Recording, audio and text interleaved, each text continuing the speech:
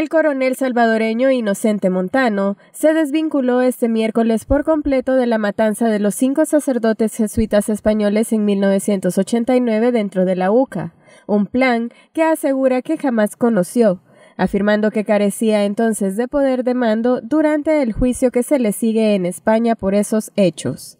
La Fiscalía Española solicita para él 150 años de cárcel por cinco asesinatos terroristas correspondientes a los sacerdotes españoles. El ministro de Obras Públicas reportó que los daños causados por el paso de las tormentas Amanda y Cristóbal superan los 100 millones de dólares, donde destacó más de 10 puentes dañados y cuatro colapsados, en conferencia de prensa, el funcionario aseguró que en algunos casos ya se inició el proceso de reconstrucción en carreteras y en otros ya se está trabajando en el diseño.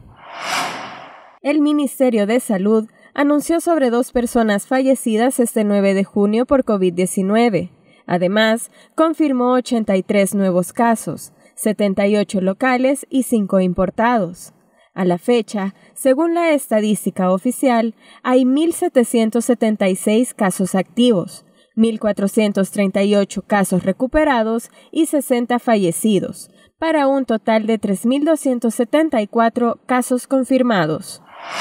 Este 9 de junio, el titular del Ministerio de Salud, Francisco Alaví, confirmó que 80 adultos mayores del hogar de ancianos Sara Saldiva dieron positivo como portadores de COVID-19. Por otro lado, la Procuraduría para la Defensa de los Derechos Humanos brindó un plazo de 72 horas a partir del 8 de junio para que se informara sobre el estado de otros asilos en el país, de los cuales el Ministerio de Salud es el encargado del cumplimiento de los derechos que tienen las personas mayores que están internadas.